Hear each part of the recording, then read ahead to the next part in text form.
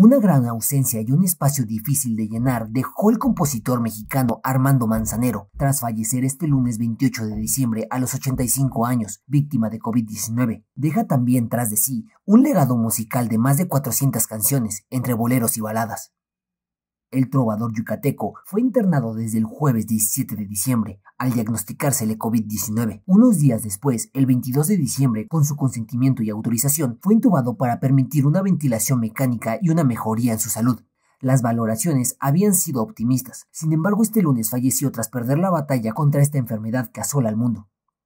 Armando Manzanero nació el 7 de diciembre de 1935 en Ticul, Yucatán, y a lo largo de su larga trayectoria fue merecedor de distintos reconocimientos y premios en México y el mundo. Uno de ellos fue el Grammy, que ganó en 2014 por su trayectoria. Fue la primera vez que un artista mexicano fue galardonado de esta manera por la Recording Academy de los Estados Unidos.